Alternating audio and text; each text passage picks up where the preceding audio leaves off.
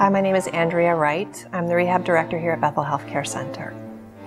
Uh, Bethel Healthcare Center is located on a 25 acre wooded lot in Berkshire Corporate Park in Bethel, Connecticut.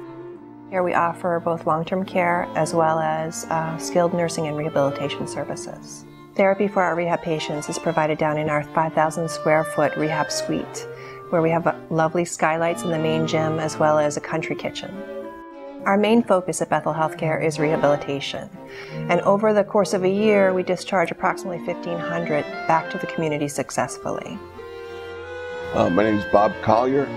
Guillain-Barré syndrome, I was struck with that, and I am pleased to report that I'm able to, to walk using these, these crutches just within the last week uh, with the help of Karen.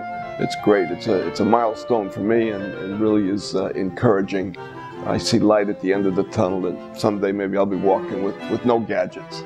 So. Bethel Healthcare is a Planetree affiliate. We've been an affiliate since 2007. Uh, and Planetree is an international organization that was uh, initiated by a patient in a hospital setting that was very dissatisfied with their stay.